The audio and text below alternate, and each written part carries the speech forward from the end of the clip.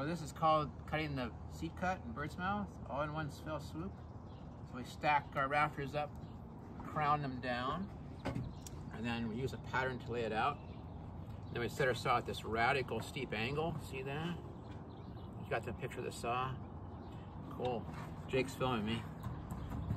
Okay, here we go. Let's see what happens. This is kind of gnarly solder.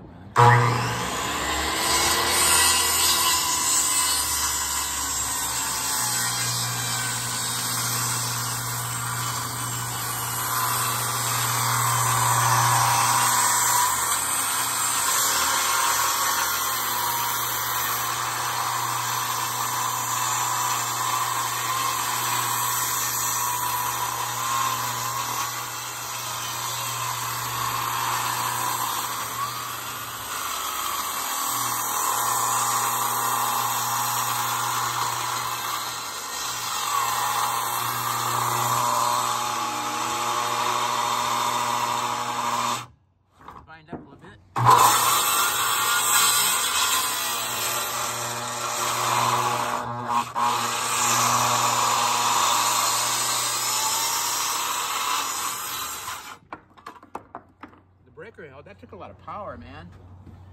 So now we can see we have all the, all. One fell swoop. Yay!